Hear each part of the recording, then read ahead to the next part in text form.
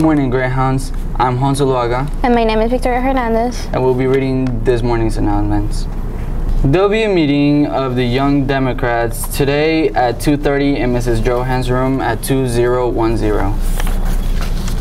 Congratulations, Mrs. Poskovich, as she was awarded her 2021-22 Teacher of the Year. Thank you very much, Mrs. Poskovich, for all your dedication to your students in the math department and for monitoring our students to assess with math credit recovery. The Technology Association TSA Club will meet on Tuesday, October 19th after school from 2:30 to 3:30 p.m. in Building 6, Room 039 in Mrs. Atkins' room. Come and join the fun in this diverse project-oriented club. On August 14th, 2021, a 7.2 magnitude earthquake struck Haiti across its major cities. This was another major setback in a country struggling with political instability, COVID 19, and food security. In Haiti, it is anticipated that some of the immediate needs will be food, clean water, and shelter. Hurricane Ida struck Louisiana as a Category 4 hurricane with sustained winds of 150 miles per hour, leaving more than 1 million people without power. Many hospitals in the area were already at capacity with COVID 19 patients, but now the injuries from the storm have pushed health workers and emergency responders to the brink.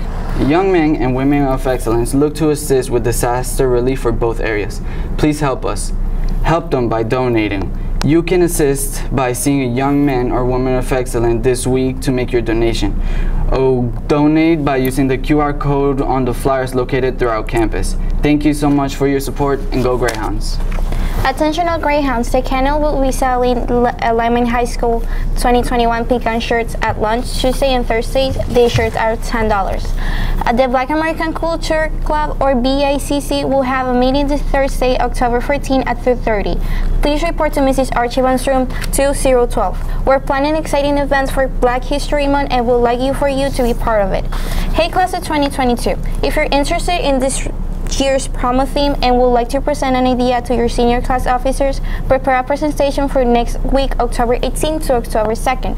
You will be able to present your theme ideas to Mrs. Stone in Building 3, Room 4 during both lunches. Please come prepared with a good idea about what color and decorations you think would be best fit for your theme. And today's for his as closing Hispanics month, we're gonna talk about Gabriela Mistral. She was born in 1898-99 in Chile. She was she passed away on January 10, 1957. She was known as a poet, diplomat teacher, and a Nobel Literature Prize holder in 1945. She was the second Latin American person to gain Nobel Prize. Her work will make the groundwork for modern Spanish literature.